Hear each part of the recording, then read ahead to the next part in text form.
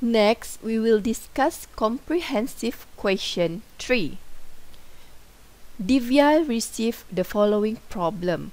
A particle move in a straight line with velocity vt equal to square root 3t minus 1 meters per second where t is time in seconds. At t equal to 2, the particle's distance from the starting point was 8 meters in the positive direction. What is the particle's position at t equal to 7 seconds? So the question is, what expression should Divya use to solve the problem? Okay, so we will apply integration, integrals, okay, at t equal to 2, so start from t equal to 2 to t equal to 7, so 2 to 7, and the velocity is vt, okay, dt. So this one is the expression. No need to solve this problem. You just write the expression only. Okay, so this one is the answer.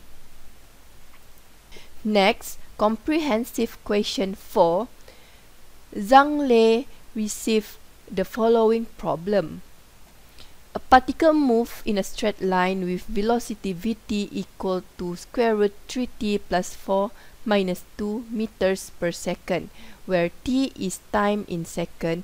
At t equal to 5, the particle's distance from the starting point was 7 meters in the positive direction. What is the particle's displacement between t equal to 5 and t equal to 8 seconds? And right expression should Zhang Lei use to solve the problem. Okay, so the answer is integral vt dt from 5 to 8.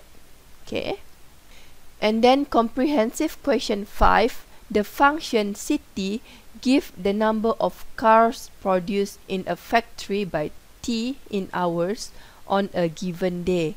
What does integral c prime t dt from 0 to 6 represent?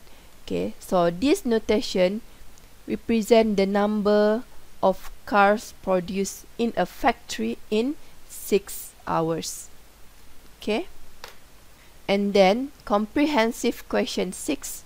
The population of a town grows at a rate of RT people per year, where T is time in years.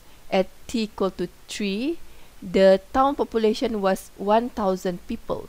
What does 1,000 plus integrals RT dt from 3 to 8 equal to 1,500 mean?